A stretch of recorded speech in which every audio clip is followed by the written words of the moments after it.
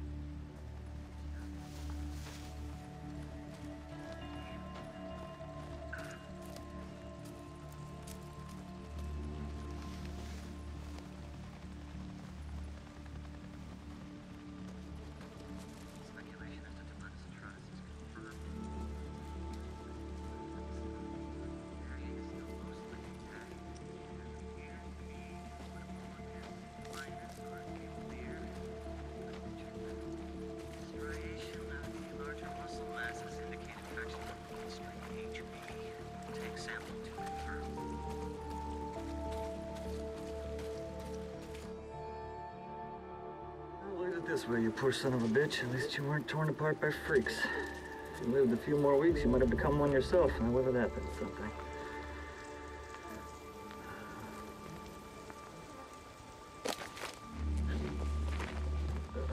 Uh-uh. Ah, what do you want? Stay back. I just want to talk.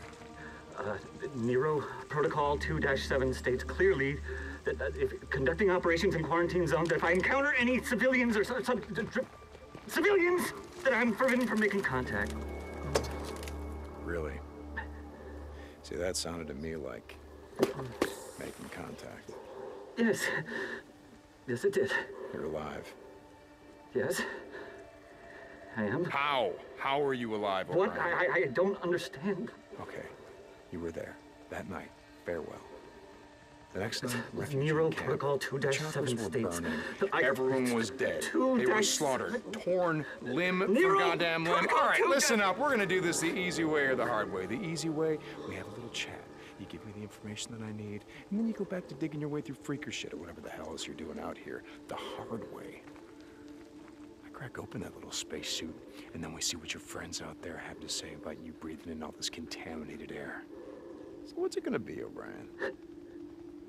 Yes. Okay. Okay. You remember the rooftop of the old brewery. I put a woman on your chopper. She was wounded. Yes. I remember a, a knife wound. She, she was cut pretty bad. I went to the refugee camp that you said you were taking her to. Everyone was dead, so I'm gonna ask you again. How did you survive? We weren't there. We were diverted south to another camp. Uh, Like you said, the camp in Belknap was overrun, so they moved us south to a camp outside of Silver Lake. Were there survivors? You mean now? I don't know. I, I was transferred to the research unit. Did she Oh, survive? wait, wait, wait, wait. I, I, I, I, I can find out. I, I can check. you have one of our radios. That's how you. Uh, I, I can't promise anything, but I'll, I'll check. Uh huh. And I'm gonna go with you. No, you, you can't. Please, you don't. Hey, you don't understand. They'll fucking shoot you. Not before I shoot you. Okay, look, if you're gonna fucking kill me, do it, okay? I did my job. Did that woman your wife? I put her on oxygen, I gave her an IV.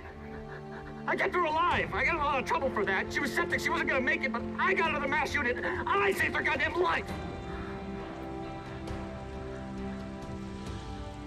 O'Brien, report. I have to go. Please, uh, you have to get out of here. You don't know these men. You don't know what they're capable of. If I don't hear from you, I don't care how long it takes. I'm gonna track you down. And I'm gonna do a lot worse than snap off an antenna. I'm sorry about your wife. But you're not the only one who lost someone that night.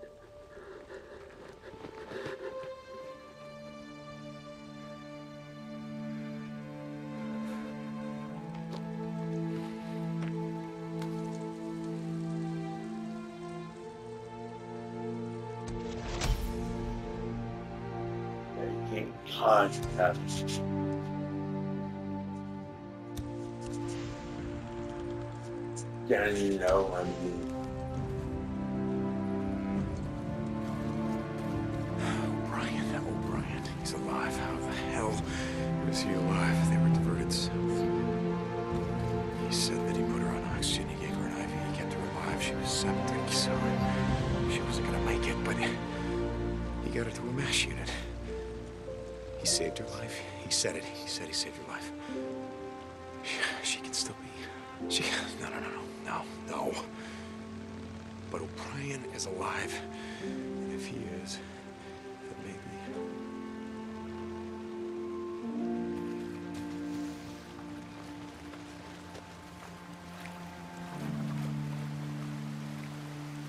Deke, you there? Booze man. A few days ago, I asked you if you remembered that Nero asshole O'Brien. Uh, yeah, Deke, it's it's all uh, kind of a blur. Yeah, yeah, okay. Get some shut eye, booze man. I will tell you about it later. When are we riding out of here, Deke? Soon, boozer. Real soon. Look, as soon as your arm heals, we're gonna be riding the hell out of here.